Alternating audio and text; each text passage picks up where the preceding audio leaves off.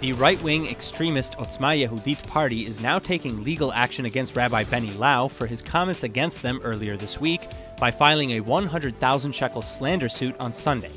In a letter written to the rabbi, party member and lawyer Itamar Ben Gvir also said, quote, Your words are clear slander and gravely insulting, and you crossed a red line by comparing Jews to Nazis. Jews who are loyal to the state of Israel, the land of Israel, and the people of Israel, he continued, adding that, quote, the Nazis murdered 6 million Jews in the Holocaust and tried to destroy the entire Jewish population of the world just for being Jews due to their racism, end quote.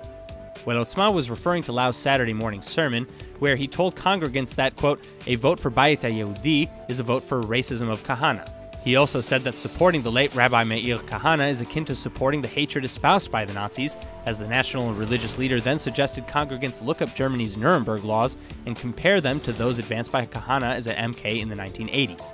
Meanwhile, the party's welcoming into the right wing fold continues to enrage other critics as well. Susie Gelman, for example, the board chair of the Israel Policy Forum, disseminated an open letter on Prime Minister Netanyahu and the Kahanists later that day writing, quote, I am truly appalled by Netanyahu's actions not to just strengthen the far right, but to actually encourage and legitimize racists in Israel's political establishment. This in response to the prime minister's advocating for a merger between Otzma Yehudit and Abayit Yehudi.